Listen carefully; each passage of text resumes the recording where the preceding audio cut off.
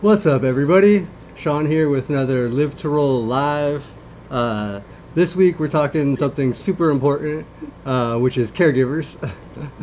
uh, and uh, I've had a couple issues with that recently, so that's why I thought it was a good topic. Um, oh, lost Tommy for a second, and we're waiting on Oh, Tom to join us in a little bit here. Um, Tom, if you can hear us, you can pop on. Oh, there you go. You're good. Um, it looks like you're muted, but you can, uh, if it's not working, uh, just click back in. Um, but There we go. oh, we'll do a, okay, there you go. You're good. Okay, so yeah, we'll just do a couple quick intros real quick.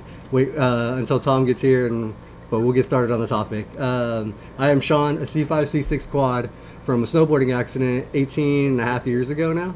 Bobby, you want to kick it off? Yeah, no problem. Thanks a lot. I'm Bobby Rohan. Welcome back, everyone. I've been hurt 33 years from a cycling accident, C5, C6, and introduce a good friend of mine who I've known for 33 years now. Uh, since my accident, Tommy Hollenstein. Thank you, thank you, Bobby. I'm Tommy Hollenstein, uh, C45 quadriplegic uh, from a mountain biking accident in 1985. So it's about 37 and a half years. Oh, lost him again. He's on the road right now, trying to get back to his house. So yeah, we'll just uh, let me see. Oops. There we go. That was one. Uh, so we'll just wait on him to get back for a second. Um, but yeah, Tommy uh, is the man. He was. What's up? Oh yeah, Oh, let's I'm sorry. Go ahead. Go ahead. I was just gonna- I was just gonna shout Tommy out too. Yeah, Tommy's the man. He's one of the other like Bobby was the first guy I met that was a quad that came into my room and stuff. But Tommy was always at the hospital too. He'd come into OT, like talk to me and stuff, and like was around since my injury started too. So yeah, big big uh. Dude. And he's the dude that started this this weight the the water skiing, which is like my favorite thing in the world to do right now. So, but anyways, let's shout out our sponsors real quick uh, while we are waiting. Uh, so I want to thank our sponsors, Mobility Professionals and Urology Professionals. Uh, mobility Professionals is a mobility specialist here in Southern California. So if you're looking for any type of mobility device, uh, adaptive, uh, anything really, commode chairs, wheelchairs, anything like that, uh, give them a call. The information's down in the description below. They can hook you up for sure. They have great people working there, great customer service. They'll take care of insurance and everything. And then Urology Professionals is their sister company, and they are nationwide, and they're a catheter company. So if you need monthly catheter supplies, give them a call. They can take care of that for you too. Um, they're great companies, great people. They're very involved in the community here locally in Southern California. Uh, do a lot for the nonprofit Triumph we all are part of. So we're just uh, great people, great companies. Check them out. All right. Um, so I mean, we can get into this a little bit. Um, like I said, I've had some care issues right now, and I was just hiring a caregiver um, right now, or in the process of. Oh, I think Tommy is still con- kind of Yeah, it's funny. His, his screens, I, we can hear his audio driving. Um, How do yeah, I- if you How do I get my video? My- My video on? It looks like it's off here on my. Phone. No, it went black. Yeah, Yeah. if you want, You you might can. Should sign uh, off and sign back in? Oops. Yeah, if you want to just click Yeah. on and off, that's cool, Let man. me hang out and So- sign back in. Okay. Sorry, guys, for the technical difficulties. Shout out, mom. Thank you. Love uh, that you love to watch. And uh, Andrew, thanks for being here. I know you've Andrew's been having some rough times. Um, but yeah, so one of the first things we're going to talk about is just do you use caregivers? Bobby and I are fairly independent for quads, I think, um, and have probably minimal care. But um, all right, let's see if we got. There we go. Got Tommy back. All right. We. Okay, cool. Um, so yeah, like I said, we're we're just do, so um, for me personally, I do use caregivers just for my bowel care, which is basically four days a week for two to maybe two and a half hours a, a time I need them. So I have very minimal care and help. Uh, I am pretty independent for a quad. Um, uh, but Bobby, what do you, what's your level of care, especially now that you have your colostomy? I know that's probably minimized everything. It did, it did. But actually, you know, with I, I still have about the same. You know, trying to get help all the time. Um, you know, just with my wife retiring just recently, we only have somebody come in three times a week to help out. And beforehand, it was five times a week. You know, it was they would come in every morning and help out, and then at night, my wife and I uh, can do it. You know, I'm pretty independent on helping out with a lot of stuff. So, uh, ever since I moved out of my parents' house, and uh, I've had a caregiver in the morning. So when I was living on my own, I had a caregiver seven days a week, every morning, and then I would uh, do my own care. And I've been blessed, and I've been so lucky that uh, for for 33 years, I've only had about five caretakers. And Oh wow, that's I, yeah, I got lucky with my first one, and she lasted six years. And then my second one, she lasted uh, probably six years too, uh, six or ten years. And then I went through a couple. Um, she she injured her leg and her back, and she helped me find a couple people. They uh, two people kind of filled in for about a couple years, and then I found the fifth one for all the way up until um, until COVID. And then when COVID hit, you know, we were doing it on our own, didn't bring anybody in. And then now we do have somebody three times a week. So I guess six. So I have had about six. And I've been lucky that I found somebody always reliable. Um, the other one I said I had two, they, they were just, you know, that was where I didn't get the most reliable. But other than that, I, I've been blessed and helping out every morning, dictating my care. And yeah, when I got the colostomy bag, it did save a lot of time, but I used that time to have them help me, you know, like clean uh, or, you know, hey, come in, help me hook up this, things that I've had a list for. And, yeah. you know, like, hey, take this out and, oh, can you put this together? Kind of thing where I know when I look at my, you know, my wife will roll her eyes or, um, and then also uh, meal prep so I can cook at night, you know, and be independent to cook with my wife. Nice. That's good, dude. Um, so, Tommy, what about you? I mean, I know you probably have a little bit more care. Um, what, yeah. What's, eh, I mean, yeah, I'm so, C four five, so you know, I need full assist transferring and stuff. I mean, I've had, I mean, when I first got home from the hospital, I had great insurance, so I had 24 hour nursing care for the first two years, paid for by insurance, and then Wow. you know, and then it went down to self pay and a little bit of IHSS. So I mean, I've got right now in the daytime, I've got someone comes at seven in the morning.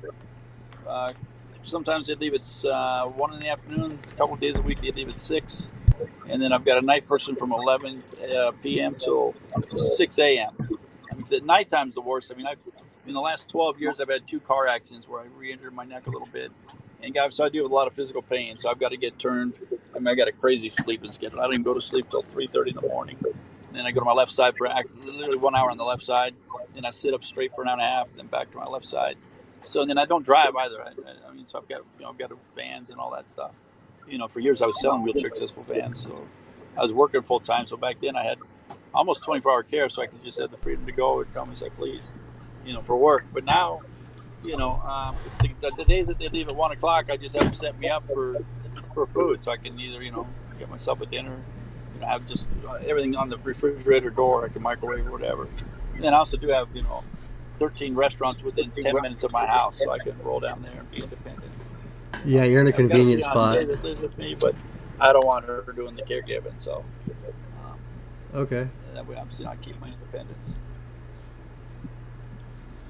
Yeah, no, that that's cool. I know a lot of people that try to separate, you know, their care with family or spousal, whatever, you know, relationships and stuff. So, um, that that works for for most people, I think.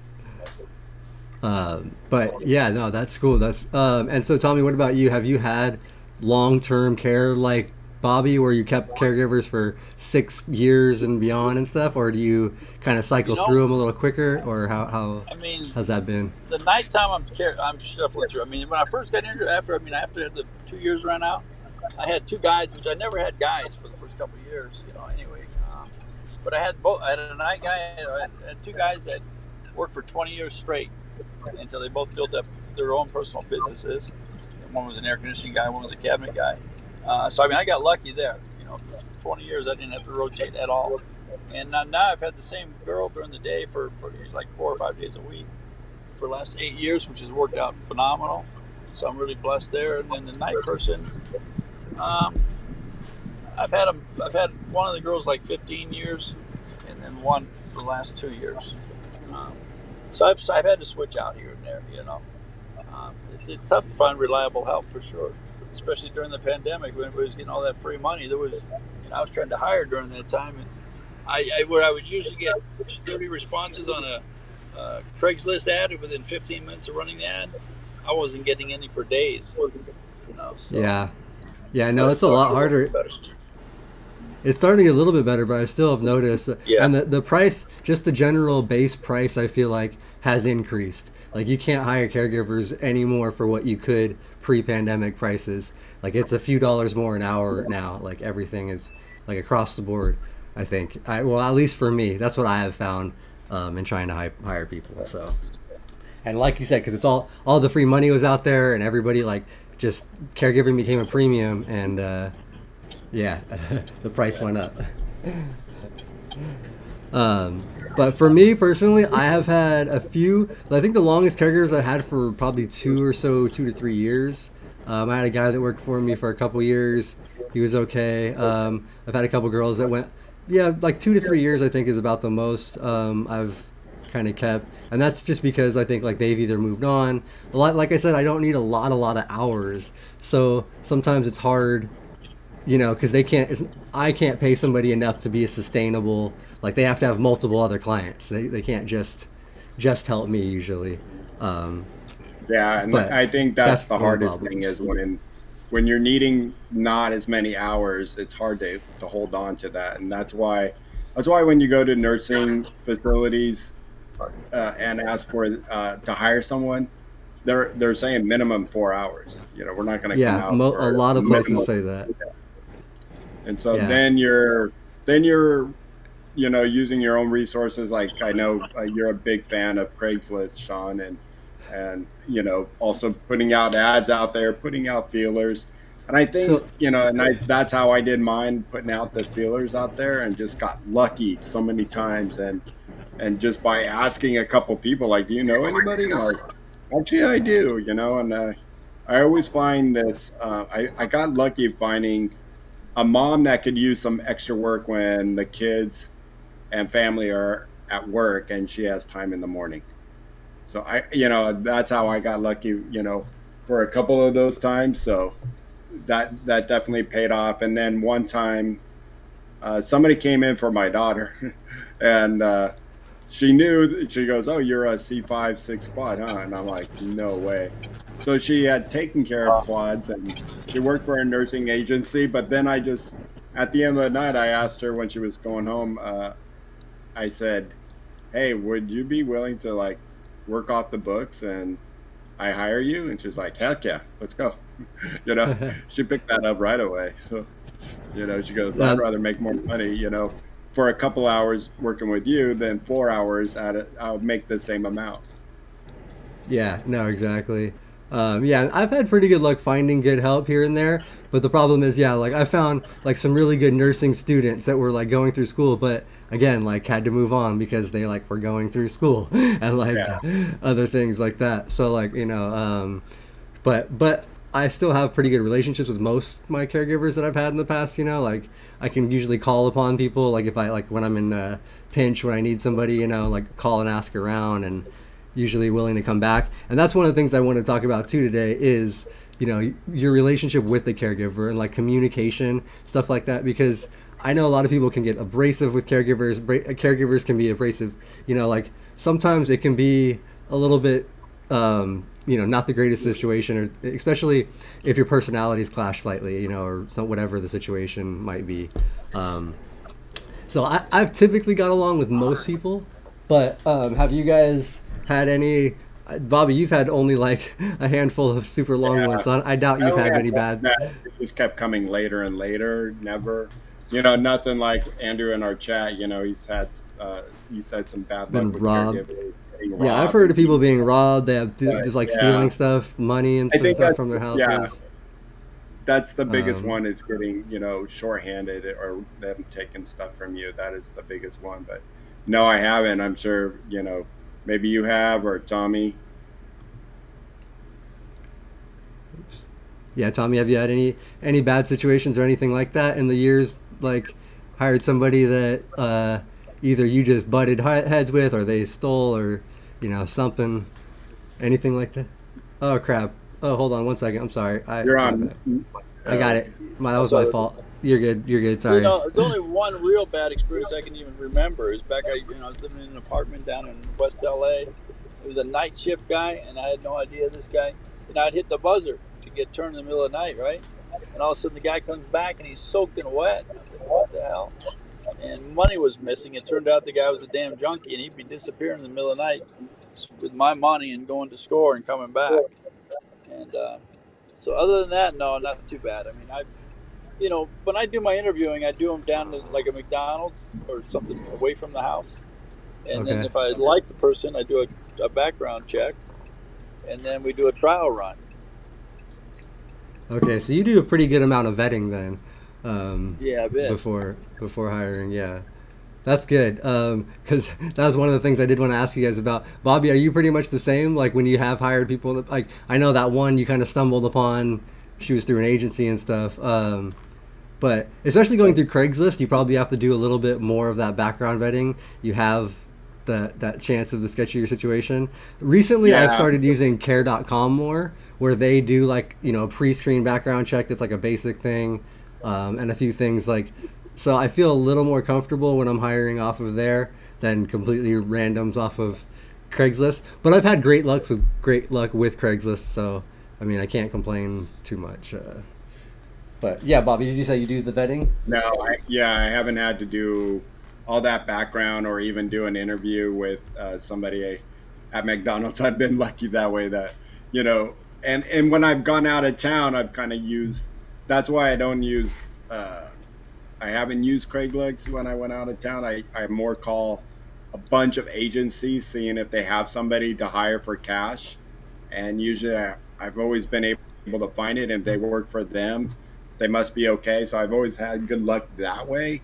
And then everybody that's worked for me was either, you know, I had, had multiple people telling me, yeah, this is a good person. Don't worry about it. You know, you know, one was, uh, I, I, uh, I worked with this gal and she said, oh, my, mo-, you know, my first one that I got, oh, my mother would probably be wanting, you know, willing to do that because her, uh, her main job was working at a nursing facility as an aide.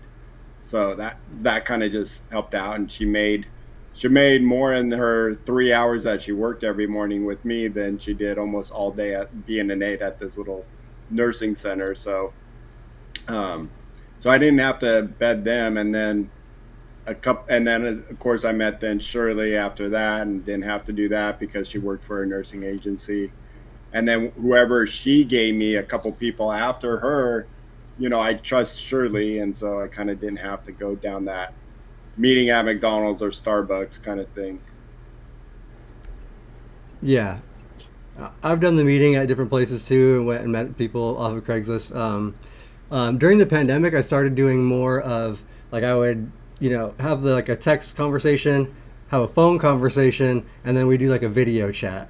And then like by you know, once you've talked to somebody on the phone, I feel like, and then you video chat, like you kind of you can get a pretty good feel of like you know their personality and stuff. So that's what I was doing during COVID, and I've kind of continued sort of doing. Um, it just that was easier for COVID, and it kind of still works now. It makes it makes it easier than driving to a location to, you know, meet um, in person and stuff. So I don't know. That's the modern technology helps a little bit with that. But for me, yeah, I, Oh, I, that's pretty much my whole background. Like I haven't, I haven't, I've never ordered a background check on somebody besides just what they do on Care.com. So I, you know, I've never gone outside of that. But uh, but yeah. um, I, I've, I've been pretty lucky, but that's what. So that's what. I'll, I'll just No, get into this right now. check, Yeah. Why is that?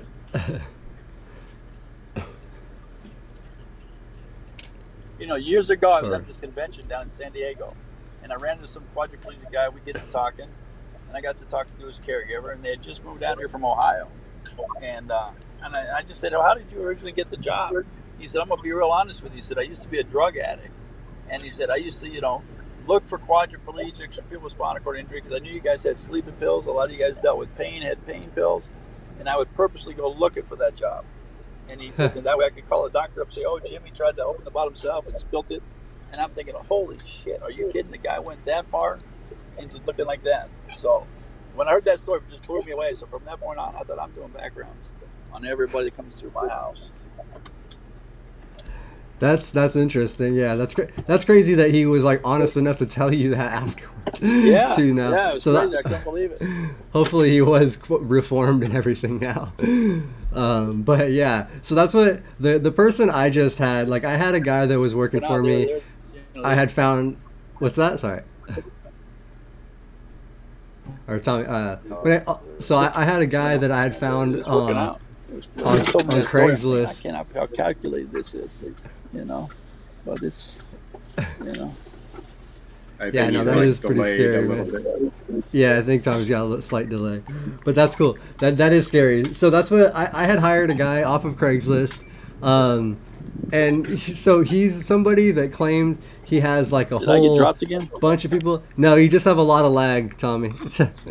um, but he claimed to have a whole. He like actually had like a small caregiving agency. Basically, he ran. He had multiple caregivers that worked for him. Worked for other quads, other elder. Like he had a bunch of people supposedly all through the Inland Empire area here that he was helping. Um, You got time to do and but he was one of those people that was very like the first day you know he talked about how good of a caregiver he was like the whole time he was there so like i don't know. For me that's always weird when somebody like completely keeps telling you how good they are at their job and how smart they are and stuff like that. That's a bad sign. Yeah. so so that was one of my red flags from the start and i kind of knew like all right this guy's a little weird whatever. And i only used him sporadically like when i would need him um, just for when I, I couldn't get somebody else to fill in. And um, the and so i don't know there was a lot of weird things he would do and stuff but also so what happened one day when he was here last week was he was spraying the counters to clean the counters with a Clorox spray, and he was kind of going a little wild with it, and it was it was hitting me in the arm and in my neck, like there was Clorox spray, and my toothbrush is right there on the counter, and I just I did not say I did not blow up, I did not like. What, what the fuck you, and no- nothing like that. I was like, hey, dude, can you actually just be careful with that spray? I'm getting a little mist on my side here. And he looked at me like, you, and, and actually said, do you think I'm an idiot? And he walked out of the room. he came back in. He said, no, no, no, I can't handle this disrespect. Went back into my room again, grabbed his keys and his phone, and walked out of my house. And literally, that's all he said. And I, I at first thought he was joking until I saw him grab his keys, and I was like, wait, he's serious right now? So I don't know. I think he may have been a drug addict as well. I have no idea. That was just weirder than anything I've ever experienced. um, and he just left me sitting on the toilet. Luckily, we started the bowel care already, and I was going with the bowel care. Um, but I still need to do like the stimulation, which I can do on my own with the tool. It's just a lot harder. It's not as effective because I can't massage my stomach while I'm doing the stimulation, which I normally would do with help. Um, anyways, it just led to like not feeling good for the day, feeling had to. We ended up having to go get my uncle to help me get into the shower. From, we had to pick him up from work. It just the whole pain in the ass ordeal um, to to deal with. Uh, so that's why I decided to do this show this week. Monday night. I can because, like I said, there were those red flags. Like when somebody's really talking about how smart they are, how good they are, this and how like all this stuff. Like to me, that's a sign that, like you know, you shouldn't have to tell somebody how amazing you are. like just do a good job, you know, and that that that'll do the trick. like Uh, we had a we had a dog trainer that was like that and just said how amazing he was and when he left i'm like yeah no you're not that amazing when you have to tell me a hundred times uh, you know so um, you know so we have a couple tips you know of hiring caregivers like you know interviewing them away from your house or using zoom uh, video chat to maybe um, bed your caregivers you know that's a great tip and doing maybe a back background che- check looking at certain websites to how to find uh, good caregivers like care.com here in the us or craigslist looks like jj mack said there's another um, uh, another place that they used like Yeah, uh, called Craigslist. Gumtree, which I guess Yeah. is similar to Craigslist. So, you know, those are some those are some great tips. Any other ones that you can think of, Tommy and um, Sean, that have worked, and then we can move on. How do you keep your caregivers and the right attitude to have during the day, so you don't have the I'm out of here because you you know you're disrespectful to me. But anything else you can think of that you use to hire caregivers? Um, besides that, I would say just word of mouth, like, you know, just knowing other people Right. um, in the community, trying to find. And then I've actually never gone through an agency agency, like calling an agency and hiring, just because of the increased price. But um, I know a lot of people that have, and that's worked for them, and it works well. But Tommy, do you have anything to add on that? No, I mean, like the the main thing is, like you said, the you know referrals from friends and stuff. You know, I have called a lot of nursing schools. I was never successful with that um, at all. I don't know why, but I mean, it, you know, they would say, yeah, they're going to send some people to call me, but it, it just never happened. So, um, yeah, I mean, I, I've heard of Caregiver.com, but I, I was really lucky so far with the Craigslist. You know, but uh, like I said, I do, you know, I do do the interviewing and definitely do background checks once I know I'm going to hire somebody for sure. You know, and then it's just about treating them right and you know being respectful and you know hopefully you give match personalities and especially if you've got other people in the house as well, they got to kind of match up with that and just have a real clear job description.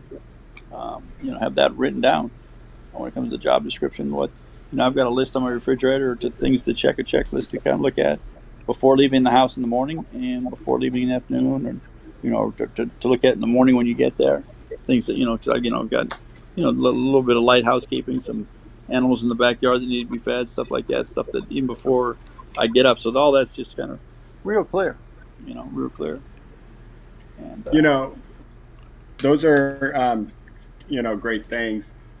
My my thing is when I've had a couple new ones or when I started using, uh, and before we have our caregiver get on board and come help us, it's it's how much to pay them, and I don't know if you guys experience like do you pay do you have like the starting rate, Shawn or Tommy, or do you fluctuate on the person at all like? ooh, this one seems really good, so I'll give like maybe 50 cents, a dollar more, or this one I'm not sure about, so let me just start at this base rate, you know, the bottom of my bottom. Um, so now my base rate has been since COVID, um, the cheapest I've really been able to find, especially for leading so little hours, is twenty an hour. Especially because I'm only getting like two hours to two and a half hours. Um, that's like the cheapest I've pretty much found that somebody's willing to come for two hours. Um, but I actually do have the one really good caregiver I have, who's actually she was an RN in Mexico, but like here she's just a caregiver unfortunately you know because like the schooling doesn't come over. But she's a really good caregiver. She's really knowledgeable. She's like literally like having a nurse here. She's great. Um, so she actually asked me for a slight increase in pay and i was happy to do that for her. Um, but i'm still paying everybody else the 20 uh, but and it's even only a couple dollars extra but it's still like for me it's worth having that good consistent help uh, unfortunately, she can only do like two days a week for me, but that's still I'm happy to get those two days when I can to have like high quality help. Um, but so that's my rate, uh, and yeah, that's a. um, and I usually like so also when I do the travel. So when I, I mentioned this on the last show, we hired a caregiver when we were in Houston that I hired to help me and Tom. So we hired her for four hours, but the way we were able to set up our care, we were done in like two and a half, three. But I still like told her from the start, you know, like I'll pay you out the four hours. Like just because we want to get done faster doesn't, you know, like I hired for that amount of time, I'm gonna pay you for that amount of time. Like because that basically we each needed two hours of care. She just was able to overlap us and do it faster. So like it just uh, you know stuff like Yeah, that. I always would just reward. Definitely, if you're paying private, I've always had the sense of sometimes I've got, had to leave out the door like an hour before they were going to leave that day. If I couldn't think of something for them to do in the house or I didn't need them in the house because I was leaving, I always pay them for the full amount that they were expected to work. Um, You know, Right. so that's how you know those are some tips to you know keep your caretakers, which we can get in here in a in a few minutes. But yeah, tips are always uh, is definitely paying your your care for what they were thinking they were going to make for that day. Yeah, no, that's uh that's it's only fair, you know, like because you're not gonna call some have somebody come out and then like short their hour. Like it's just fair if you have them come out for that certain amount of time, and that's part of the communication. You just like get all that stuff out in the air first. Um, so, um, yeah, I think that's just good. And like we were talking about before, we can kind of get into the keeping care. I think a little bit. Well, just real quick, um, Connie Jones. I, I think she's uh, not too far from my house. Hi, Connie. I think I, I'm, I know her.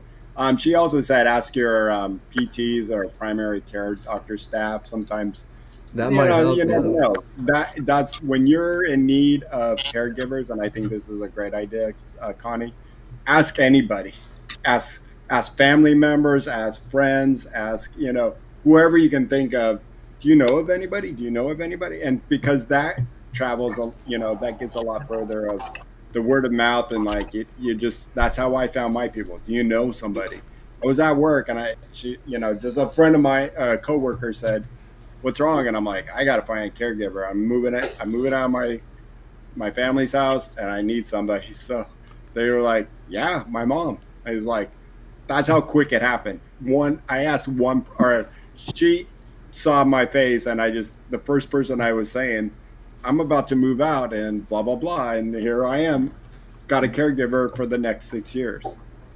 So that's how easy it fell in my lap. And I know it doesn't work for everybody, but you know, it was just. And I now I would always think like, gotta ask anybody. Yeah. Yeah, no, it's good. If you're looking, it's important just to put those out there. Put, you know, like, just ask friends. You can throw it on social media. You might have somebody that's like, oh, yeah, I have somebody in the area. Um, so always try to use any resources we can, especially from our community. I feel like definitely helps.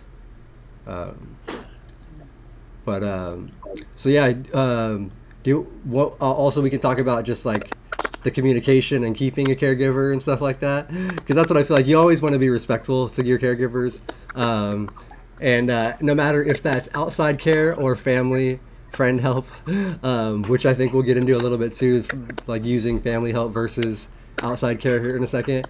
But that's one thing no matter who it is it's really important just to try to be respectful. And i know sometimes like that's probably my most frustrating time of the day is doing my bowel care in the morning. That's when i'm the most irritable human being that i am like of the day. So i have to try to make sure that i am you know like just always being respectful and nice and stuff. And uh i don't try i try not to talk down to people or treat them you know, like that's why I, w- I was really kind of. I honestly thought the guy was joking to me when he was like, "I can't take that disrespect," because I was like, I li- like I, I think there was even a please in there when I asked him. I was like, "Can you please just you know watch where the spray goes?"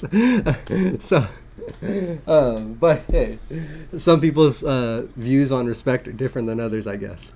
So maybe communicate with that person and figure out how to best go about that in the future. Yeah. Um, So now, now let's talk about we got our caregivers. You know, the start of it. You know, how do you set it up? You know, now that you've hired, you know, how do you approach your care? I mean, obviously, you know, one thing about being paralyzed and being actually out there in the public, actually in your own home, family, friends, or a hired caregiver, you have to dictate your care. You have to be your own advocacy and it is very important that you know you definitely set it up right that uh, you know does i guess i always have the the fear of does this sound maybe it's going to be too overwhelming so i start out slow like just going to be a few things like this and then we start building up as i get more comfortable with the person is that how you guys are and uh, how do you approach your first few weeks of a caregiver, a new caregiver. Tommy, you can go ahead and go first if you want. I mean, first off, I mean, I do a couple days of training. Um, you know, even before I hire somebody full time, I say, you know, I mean, once I've gotten past the the uh, the, the background check and stuff, and then and we, we figure it might be a match. I'll have them come in and do anywhere from three to five days of training um, to see if our personalities really do match up for one, and they can see everything that the other caregiver's doing, and come and mimic that, and, and really get the full routine down because, you know, especially when you know when I didn't have my fiance living here, you know, all the little things just set me up for success for the day once they left, making sure I've got three bottles of water sitting in the counter with three straws. All my remotes are on my bed. I, you know, all that type of stuff. And you know, the balcony. I mean, I've done, you know, I shower every day. I've got a roll-in shower. You know, but I try to set them up for success as well. Even with the cleaning products I have, everything is simple. You know, I've got a, roll, a roll-in shower. I've got a ceiling lift. You know, things that make their job as easy as possible if I can. Um, and then, like I said, write it down, make it clear on, on the job description, and then you know slowly add things like Bobby's saying. I, I get that for sure. Um, you know, I mean, some people they do have helped me in the studio painting, and some people I don't. You know, I just I don't trust them to that level at, at all. Um, but it's you know, and then it's just about treating them with respect, and uh, and and and you know, because I'm hoping for long-term caregivers. And I, you know, I talk when I when I'm doing my hiring, I'm also I'm telling you, you know, I'm looking for somebody a minimum two to three years or more, if possible. You know, so there's, I mean, right from the get go, um, there's a pretty clear understanding, um, and hopefully then it works out. But it's just, you know, about respecting them and, you know, making making the duties clear, so you're not adding too too much. You know. Right. I think you said something very profound in the sense of setting them up for success. And one yeah. thing that we have to realize, and I know what there's there's some people out there they probably don't know where half of their crap is that they get into their house and they go somewhere and then you get a new person coming in. It's like I don't know, it's somewhere over there. The four by fours, I I have some somewhere. Can you look for it? You know, I don't. I've never been a believer in that. And you know, when I first got my first caretaker, you know, every night I would lay out my clothes. I would get all the everything that I needed for that day ready that I can say all that stuff's in the bathroom. The clothes are right here. This is right there. This, this, this. And then I have two things in the refrigerator. If you can make those things for me, they're right there on the door and marked. You know, so I always felt like that was important when I first started. And it worked well because all of a sudden, you know, after a while, they're like, you know, you don't have to lay out your clothes every morning or at night. You know, I can go get it in your closet. I'm like, okay. And then they kind of knew what I liked and what I don't like, and so they just kind of just pick it out for me. And I'm like, oh yeah, I'll wear that today. So, you know, over time it did help out. But I think setting them up for success and knowing where your crap is is important. And I think that's really awesome. Uh, uh, well, well said, Tommy. How about you, Shawn? So the knowing where your crap is is one thing I have issues with here now because I don't put my stuff there. My stuff is in places I can't physically even get to and reach, like in this house. Um, so that's one thing that kind of sucks. Uh, and I try to remember where everything is and tell them, but like half the time, like I have to be like, yo, you have to ask my grandma because like I literally don't know. She puts it all away, and I don't know where it is. like so. Uh, but besides that, what I was gonna say, going back, I do the same thing like you guys do. Um, I I hire somebody um, to come in, uh, or when I hire somebody, I stick with the basics at first. I pretty much just have them doing all the uh, the main things I need, the bowel care, the shower, and then as that routine gets settled in and we get good at it, I kind of add the little extra things like, you know, pick up this. I'm can you clean like also put this over here each day, little stuff like that um, to just continue to add to the uh, to, to, to it, but not not like continuously, but just till I get to like what I pretty much need, all the base things I need. Um, and so that's pretty, that, that, I do the same thing as you like so same thing you guys. Um, and I think that helps. I try. I used to do a list, but I haven't had my printed my list and don't have it out anymore. But I did also used to have like a checklist of everything um, that made it easier to remember. And uh, I might go back to that, but right now the the couple people that I have helping me are good and don't need anything right now. They're already dialed in. I am hiring somebody right now for a day or two a week, uh, but um, we'll see what happens with that. you know, the one thing you guys did talk about is having you know, I learned in the hospital to make sure. I mean, I only had two drawers in the hospital, but they told me know exactly where everything is in your drawer, so that when you're laying on that bed, you can tell them exactly where everything is. So I mean, I've got my closet pretty well organized in different drawers, with my gauze, my supplies, whatever you know, my my underpads, whatever, um, tape, all that stuff. I mean, I could tell them, okay, look in the closet in the back drawer in the, the back wall, top left drawer, third one down or whatever. And I mean, that's important to be able to, especially because I mean, I, I never, you know, I've been very active all my life. Never had any any problems until I was that six years ago. I was stuck in bed for two months.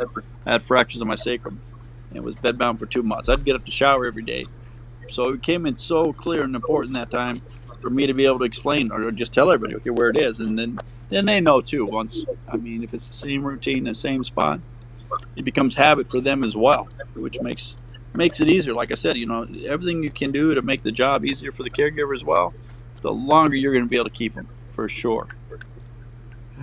Yeah, no, definitely.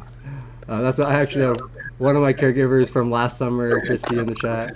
She was actually a great caregiver, uh, super good. So no no crap talking about Christy. She was the one that moved on to nursing school and will be an RN soon enough.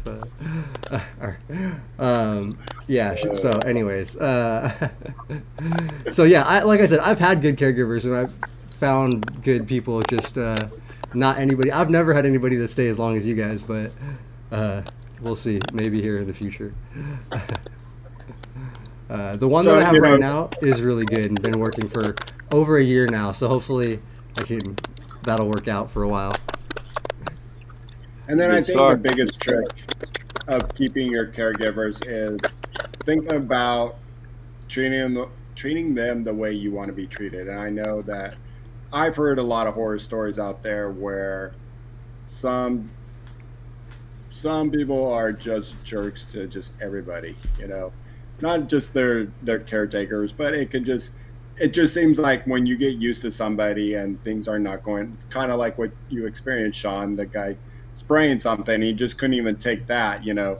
And not that you did anything wrong, but what I always try to do is set up for the day of, hey, you know, no matter what's bugging me, I'm not going to take it out on my caregiver. You know, whatever is, you know, whatever they're doing wrong, I'm going to take a couple seconds take a deep breath, and then like, you know what? Hold on.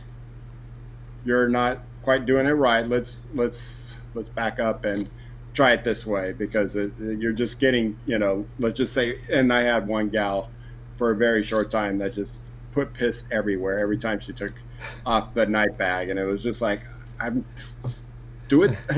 I told you how many times, you know, and it just it was frustrating. But no matter how many times, I did not want to yell because that's not how you keep people and you know i always have respect of please and thank yous go a long way you know asking them how their day is and some days you can tell that your your caregivers are in a rush or for whatever reason you just can tell something's off you know and i kind of just let that happen let them have their bad day as long as you're not going to put it on me and I'll, I'll just i'll be quiet here and it just seems like i know you don't want to talk today but as long as i get my care that's all that matters yeah. No, exactly. That's a. Uh, and that's for that's my problem. So when I start to get a little irritated, I just get quiet. I'm just like, and I and I try so like because I don't want to be, you know, I'm not gonna say anything mean, but I'm just like, so I'll just I won't say as much, and I'll just like try to very just distinctly and briefly explain what I need. Um, but uh, that doesn't happen with that many caregivers. That's usually just like, yeah, that's. uh, but I've had the same thing where I've had people like you try to explain something to over and over, and they just can't quite get it, like spray and pee everywhere or whatever, stuff like that. Um, and that's hard. So, but. Um, uh, so what else we got? Um, so yeah, let's let's talk about the family versus outside help for people because a lot of times when you're newly injured, the first help you're gonna have is family. Pretty much, that's like most people end up having family help in the beginning. Um, did you guys have family help in the beginning and then just move on? Uh, do you still ever have family help? Um, I know Tommy said you care you separate your fiance and caregiving. Um, so Bobby, I, I know Ellen helps you with a little bit.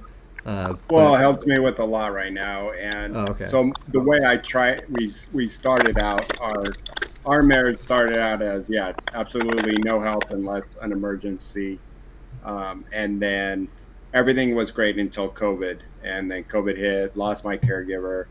I you know we were both kind of little like okay, instead of going out finding somebody new during this time, you know she's she was fine, and like like we said, having the colostomy bag, you know, definitely definitely saved that part of it in the sense of okay, I'll just do it. It will save us money because I have to pay out of pocket, and I, you know, my wife and I made too much that we don't get any assistance um, that a lot of people get, or like probably what you get, Shawn. So you know, everything was coming out of our pockets, and you know, it just kind of helped out uh, during this time of having this wound. Yeah, it's um, we have help coming in, and it's still a lot for her, and it's still affecting our marriage a little bit. Uh, You know, I'm not it's not ruining it or anything, but it doesn't help. It, it's it's difficult. I don't want her as that that person, and it's going to wear her out. And you know, I see signs of that, and so that's the hard part. But we, you know, we can go and blast out, but all I'm it's kind of weird because I lay there and then I just need somebody for a half an hour. So we're having a hard time thinking about how to balance that. We do have somebody coming in three times a week uh, to do uh, two hours of work in the morning. So that I do take that time to get a lot more done on my washing up and care and shower and you know helping me organize some stuff. So that does help, but it's hard when you have family. And I, at the beginning, I did have family, and I think it stunt somewhat my growth of being independent right away because I was with them for three and a half years after my injury. And I think, you know, my independence didn't come along as quickly until right after I got out on my own and my family wasn't doing everything for me. And all of a sudden I'm doing it all myself. And it was like, wow, now I'm really independent. You know, that's how it helped, you know, it started.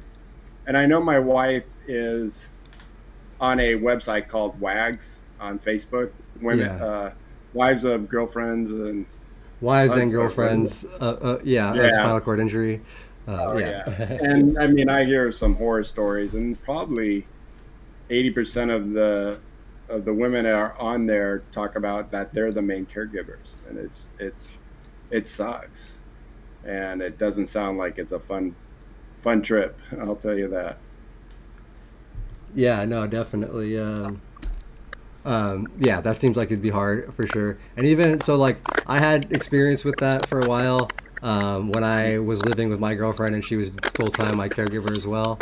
Um, sh- I had her helping me with my morning care, but typically, like the rest of the day, I tried not to ask for much. uh, You know, and I tried to also, you know, contribute to things around the house as well, like feeding the dogs and different stuff like that. You know, to not burden her with everything um, with that stuff. You know, because like we both have lives and different things we need to do. So it's just, uh, yeah. Um, but Tommy, what do you uh, you want to talk about your situation or?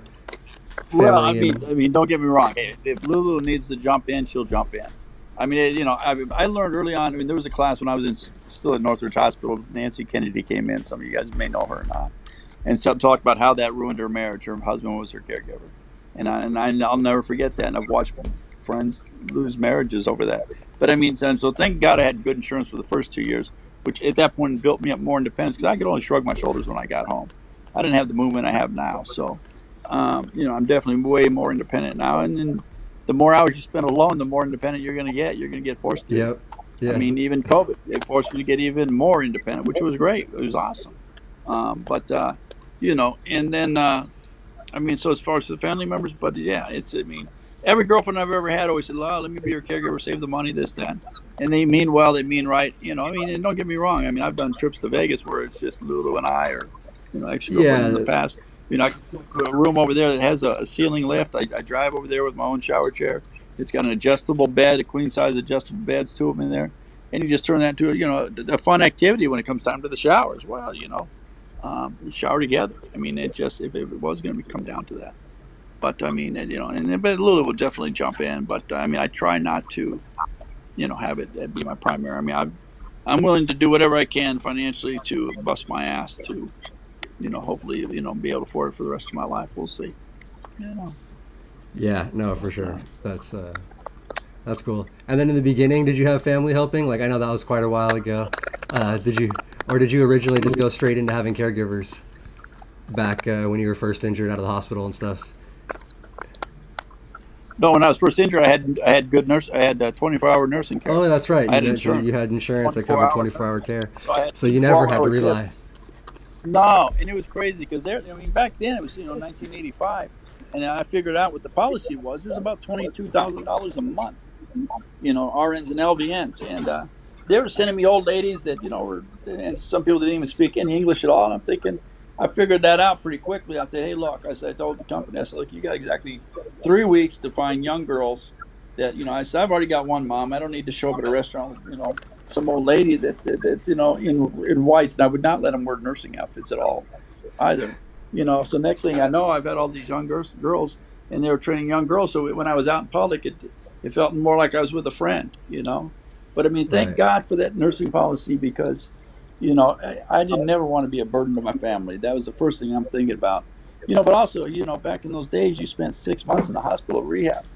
You know, doing whatever you could to get you know more independence and get whatever you could. Um, so things were a little bit better then. And then, like I said, that nursing care came in handy for the two years. When it ran out, there was a, a big reality, you know, a big reality check. But by that point, I had routines down and stuff like that. So I kind of had a lot of the quirks out of the, you know, out of the way, you know. And by that point too, I was also in the medical sales and stuff. So I was getting access. I mean, when I first got injured, there was only one power wheelchair company, Everest & Jennings, they're not even around anymore, and two lightweight chairs. You know, Sunrise Medical, which was Quickie, and uh, Quadra out of Westlake. You know, so things have really changed. I mean, there was no touch phones. You know, I mean, I had to put a pen in my mouth and write girls' numbers down if I met them in the mall. You know, I quickly learned how to memorize a shitload of numbers, you know, and addresses and stuff like that. It's just, you uh. know, so I, mean, you know, now we could get set up for success with all technology. I mean, Alexa, hell, that thing comes so handy for operating my bed, everything in the house. You know. Yeah, no, I have one in my, I have one in here and one in my bedroom, and there I have so many smart plugs and devices. Everything's plugged into it. Right there, so- you go. Exactly. Um, Yeah, no, that's cool, man. Um, and I was gonna, uh, Connie in the chat said that yeah, her husband helps, oops, uh, helps with her bowel care occasionally, but yeah, definitely a romance killer. Yeah.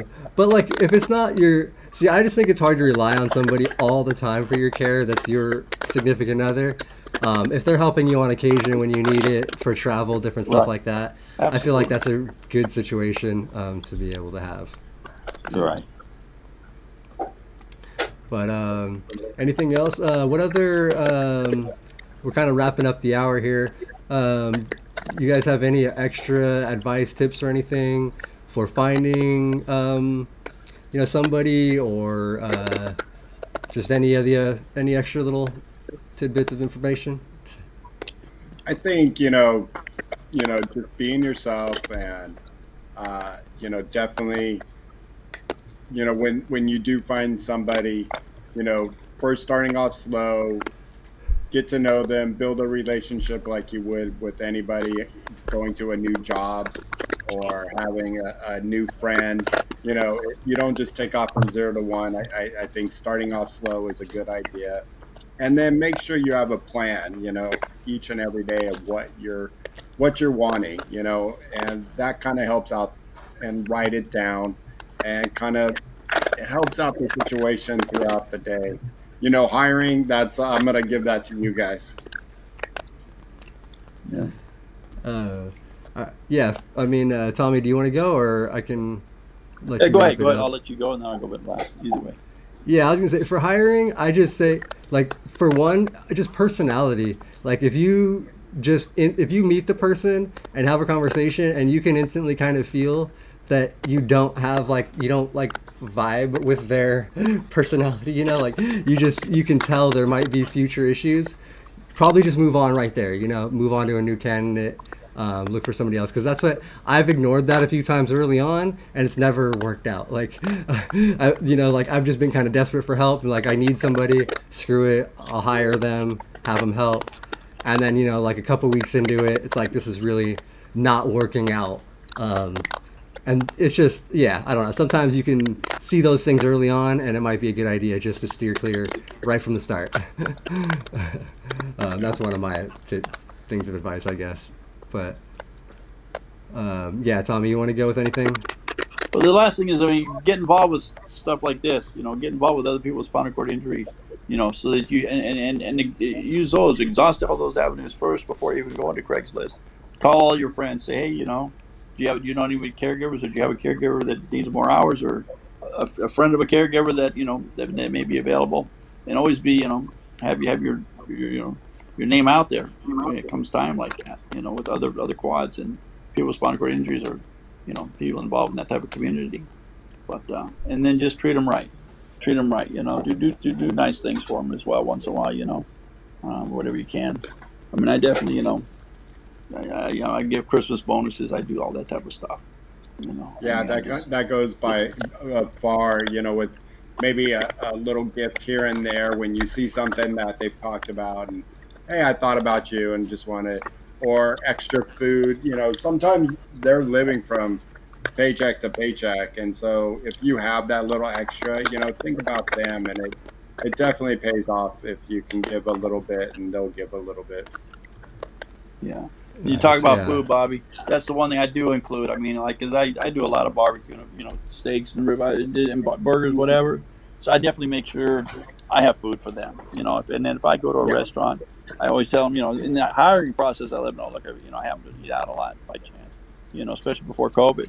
You know, it was just cheaper at the time, to be honest, and uh, you know, not expensive place or nothing, but it just, you know, I told them, hey, you know, I don't expect you to pay for your food, you know, and you know, and I'd always pay for their food. Take it, you know, take care of that as a little extra bonus, and and that seems to go a long way as well because, like a lot of like you said, are living paycheck to paycheck. You know, I'm blessed. The one girl that works for me, she just left here a few minutes ago. She drives 90 miles one way to get wow. here. 90 miles. That's pure dedication. So, and and she's great. She's you know, so I mean, I do whatever I can to keep her.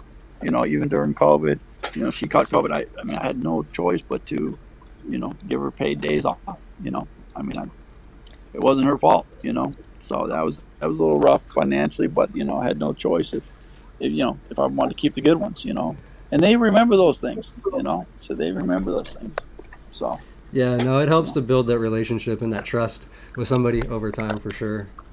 Um, you know, I, I do have one question for you, Tommy. And before we wrap up, I, I don't know if this is going to be long, but you have caregivers you know 24 hours you know especially when you're going out and they're driving you so when you get to a place let's say like you know i've been with you on many boards so like you get to a board meeting or you get to a support group at a hospital when we were going uh, how do you deal with you know letting you know do they just stay in the car or you how do you you know how does that all work i was you know when i see you and then all of a sudden i see you then all driving away with them i'm always like man, what was that person doing for the last couple hours here? You know.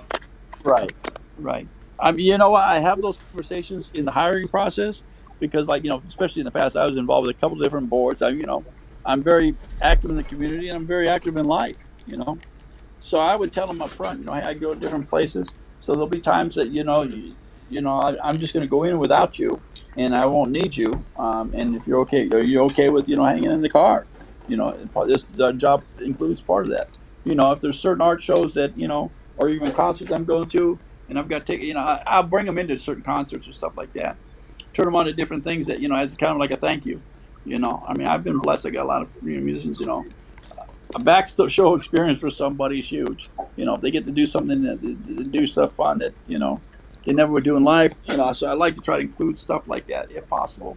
But I definitely um, talked to them early on the onset that you won't always be with me. You won't always be expected to, nor will you always be invited to come into certain situations. So that it, so it's not awkward. Like, hey, you know, hey, oh, by the way, you're going to be waiting in the car while I'm going to this, you know, beautiful event or whatever. You know, I mean, so they know it in advance. I mean, and I got some character that, that you know she likes going to places, but she has no problem hanging out in the car, talking to friends on the phone, uh, or, or watching a movie on the phone, whatever like that. You know, or I'll give them money. You know, say you know if you want to run down the street, go get something to eat, whatever you want to do at this point. You know, just know if I text you, if there happened to be an emergency, God forbid, hopefully there's never, which few and far between. You know, Yeah. just being you know the distance where Being you know if I area, needed yeah. you, you could come back. You know, also of Don't I think you down can do I'm a run, you know, uh, Instacart or something like that. right? Yeah, there you go. Yeah. Yeah, well, it's funny. Right now, I do have a deal where I have hired somebody just to get me into this hyperbaric chamber, and so the deal was, come, help me in, you know, and then go do. You know, I knew she did Instacart. It's somebody we know. It's a family friend, and she goes and does Instacart for her hour and a half. You know, I'm like, don't do too many orders or too big of an order, but you know, so Right. and then she comes back. You know, that's how we. You know, it was perfect for her that you know instead of That's sitting awesome. here for two hours, it's just you know she can go do something like that, and that worked. But you know, and, and my wife just doesn't leave in case something was not going right in there, or I was having disro. Of, like today, I towards the end, it was right at that two-hour mark, and uh, you know, I had to pee. I was little like, here, let's let's start to decompress and let me have some fresh air because when you're in there, it's it's claustrophobic, and I mean, you do have oxygen, but you know, it's stuffy in there. So it was nice to get it open, and then five minutes later, she showed up. So it wasn't too bad. yeah. That's cool. Well, see, you brought it up in advance about that. And I just saw a question come up. Somebody said their caregiver was late for an hour with no apology, no anything. Yeah. when yeah, I Kelly- hire Oh, yeah. somebody, Uh, I right away make that clear. If you're going to be late more than 10 minutes, please send me a text so I don't have to worry about whether or not you're coming. If it's under 10 minutes, no problem. But if it gets beyond 10, send me a text, you know, and tell me what's going on so that I need I know whether or not I need to uh, make arrangements for somebody else to come. But don't, I mean, especially not an hour, hour and a half. Don't expect me to be laying around uh, wondering if you're coming or not, and then and then you come with no apology. I mean, I would just politely have a good conversation. And say, maybe maybe we haven't had this conversation in the past, but if from now on, if you're going to be more than ten minutes late, can you please send me a text or pick up the phone? I mean, I, I prefer a phone call, you know, because then there's no, you know, miscommunication or misinterpretation of a text. I always said to them when I first hire, and this goes for, and I've been a supervisor for many years, and saying to my staff, hey, if it's five minutes to the time that you were supposed to be here, I I deserve a text because you know where you're at, and you're not going to be here in five minutes. So that means you know you you should be first thing setting up is a text. Like you left you left the house a half an hour late that means you know. So before you get in your car, Yeah. just let me know, please. You know, certain things like that. But I'm just saying, if it, if we we have the set up to be here at six six a.m.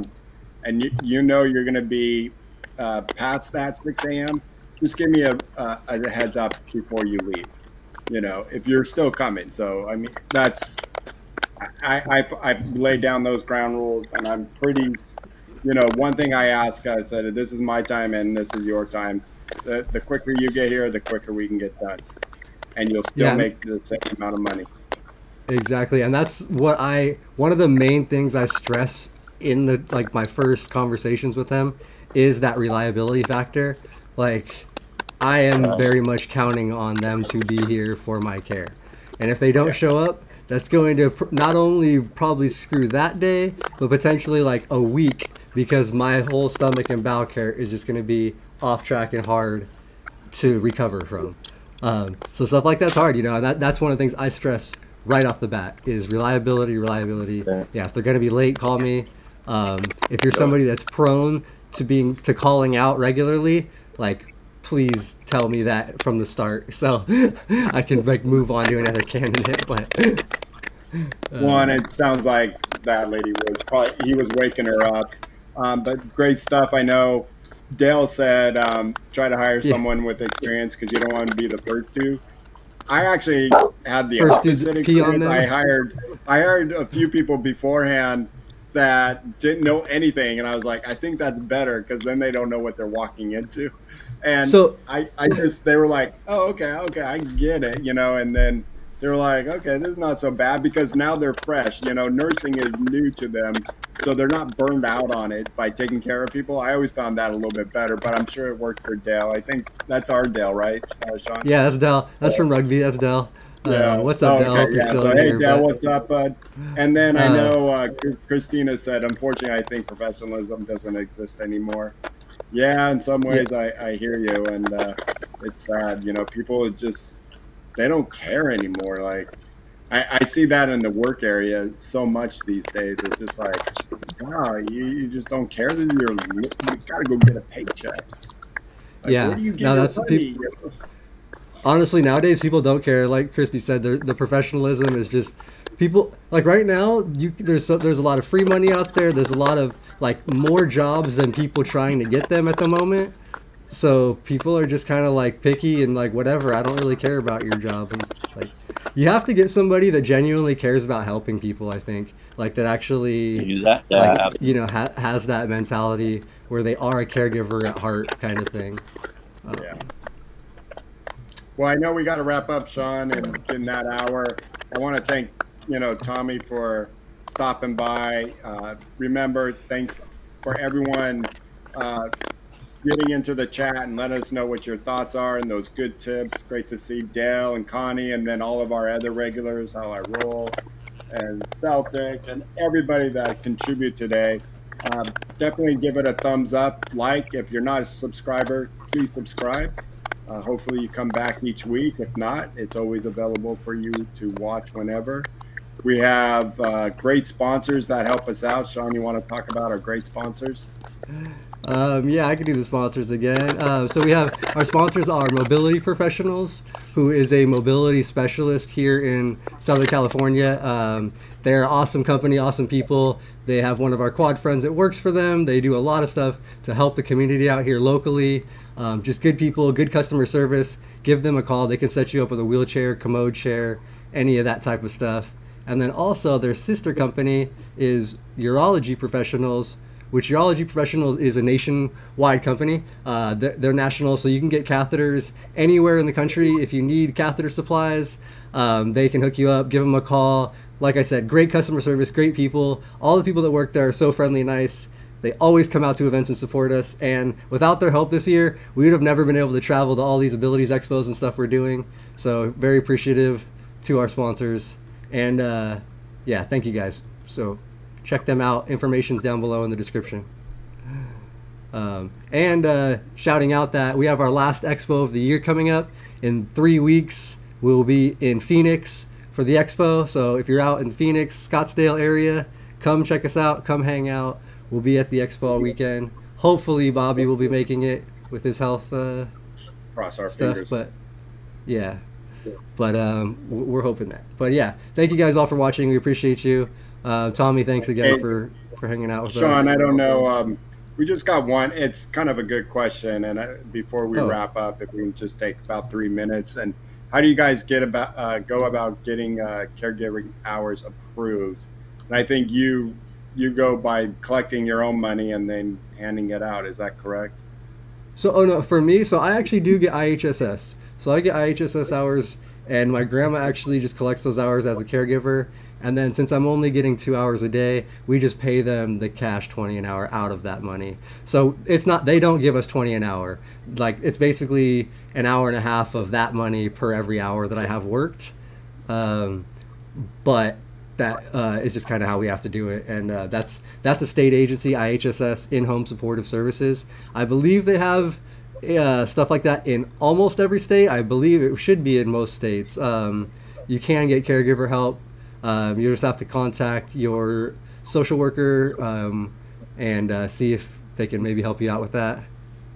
Um, but yeah, that, that is a great program, and that's how I get most of my caregiving money um, for. And for I and I'm it. sure we can do a whole nother segment off a, uh, IHSS and you know how to go about getting those hours approved and you know definitely when you have somebody coming out and evaluating you, you play as weak as you can and all that good stuff. So I'm sure we can do a whole nother show on that.